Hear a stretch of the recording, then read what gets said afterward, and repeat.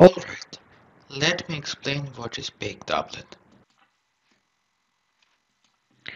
The term Pake doublet is frequently used in magnetic resonance spectroscopy to denote certain type of spectra which were first described by George Pake.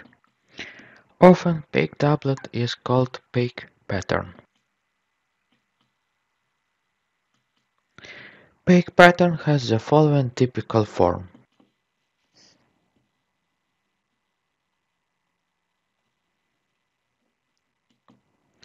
It is symmetric with the center at some frequency nu zero.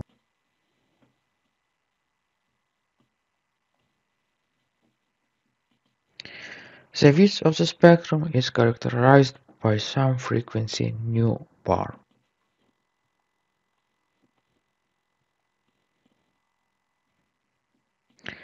The Pake doublet has rather sharp edges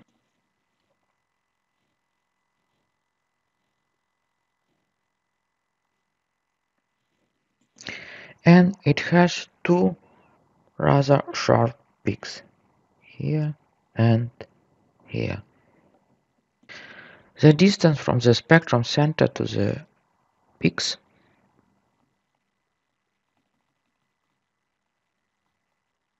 is nu bar and the distance from the spectrum center to the edges is 2 nu bar. Further in this video I will try to explain what is the origin of such spectral shape. For an easier understanding I will explain a slightly simpler spectrum at the beginning.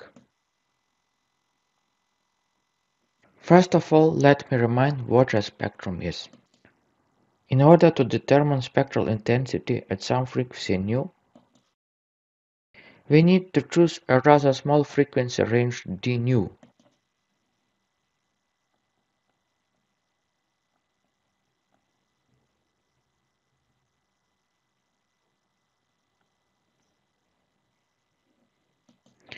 and count how many photons are emitted in this frequency range. In order to determine the whole spectral function, such counting has to be repeated at each point of the frequency axis. In this way, we can get a spectral function. Now I will apply this definition to the following system. I will consider a system of randomly oriented molecules in space. We will assume that our molecules have a rather rigid structure and we will link an axis with each molecule and define angle theta between the axis and the z-axis of the laboratory frame.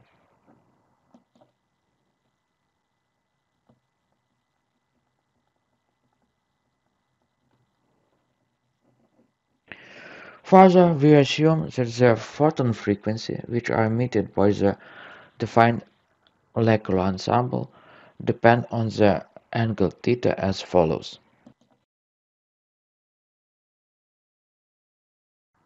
Now, the question is, what is the spectral function of such a system? Or how many molecules emit photons in the frequency range nu at the spectral position nu?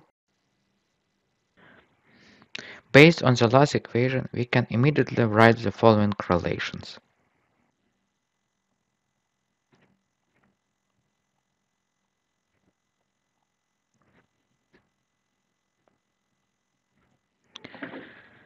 This formula means that choosing of a certain frequency range d nu corresponds to choosing of a certain angle range d theta. Now the question is how many molecules are oriented in this angle range d theta. We can answer this question if all spatial orientation of molecules are equally probable. then the number of molecula is proportional to the area of a band on a sphere which is limited by polar angle theta and theta plus d theta. This band is marked with a yellow color on this sphere. It is known that the area of such a band is proportional to sinus theta d theta. And it means that the number of protons with the frequency in the range from nu to nu plus delta nu is also proportional to sinus theta d theta.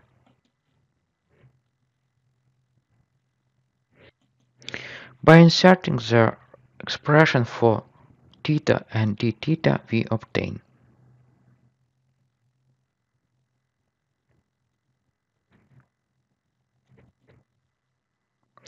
By fixing a very small d nu, we obtain that the spectrum is described by the sinus function.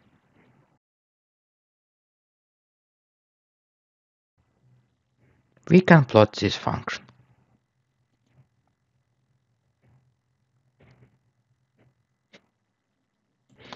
Hence, we obtain the spectral line for a system of randomly oriented molecula where the frequency of the emitted photons is proportional to the angle theta between the molecular axis and the z-axis of the uh, laboratory frame.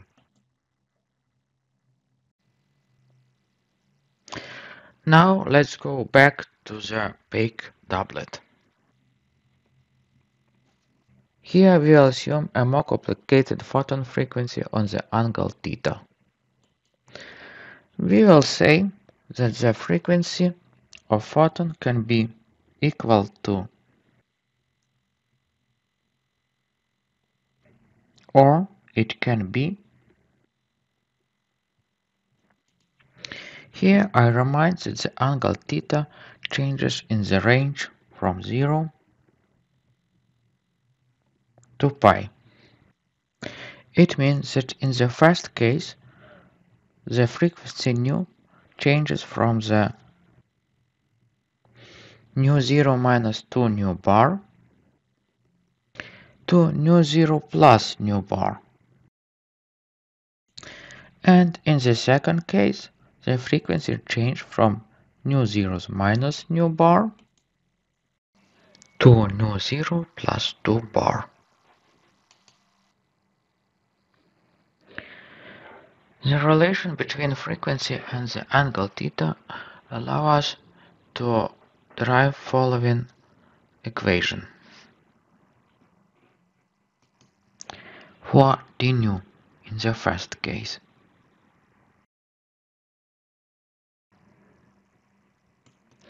Which give us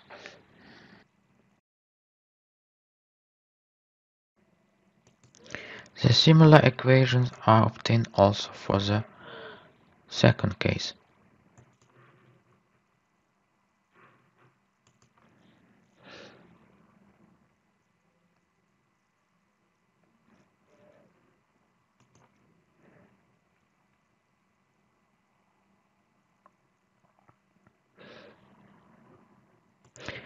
We can also express cosine theta via the frequency nu.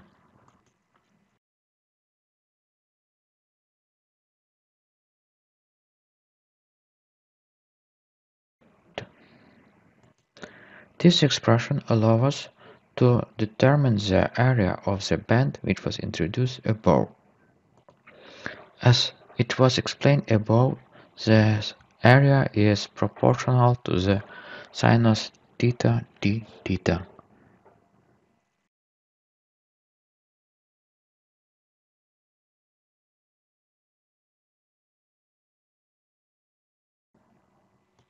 Hence, we obtain that the band area, which is determined by the absolute value of sinus theta d theta, is proportional to d nu divided by cosine theta.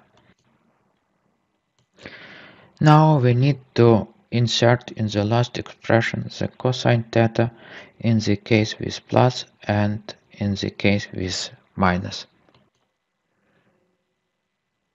In this way, we obtain that the spectral intensity, which is determined by the sinus theta d theta, is proportional to the following.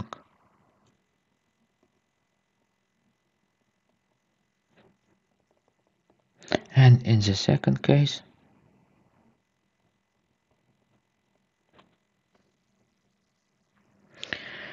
if we fix a small frequency range d nu, then we can write expression for Bose contribution to the spectrum.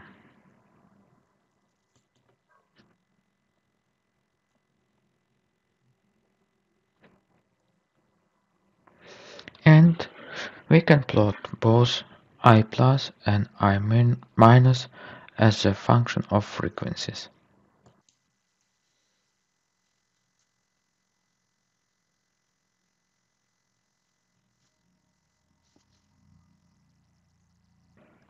First, we plot the i plus function.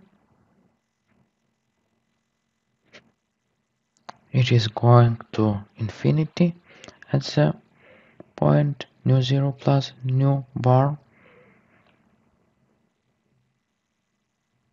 and the second we plot the i minus function. It also going to in infinity.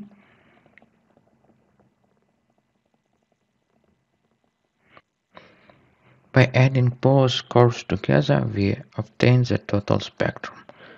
And I will plot it with the red color.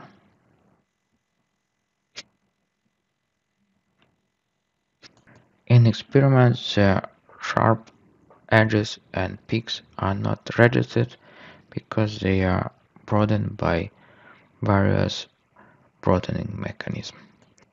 Hence, we have obtained the spectrum which is similar to those which was shown at the beginning and have explained the origin of such spectral shape. At the end, I would like to mention that the formula which was used to relate the frequencies to the orientation of molecule is used to describe the energy difference between the energy levels of two spins coupled by magnetic dipolar interactions. And the Pake doublet, which we describe here, are frequently obtained in studying spin pairs experimental. With this, I would like to finish my explanation of Pake doublet or Pake pattern and thank you for watching.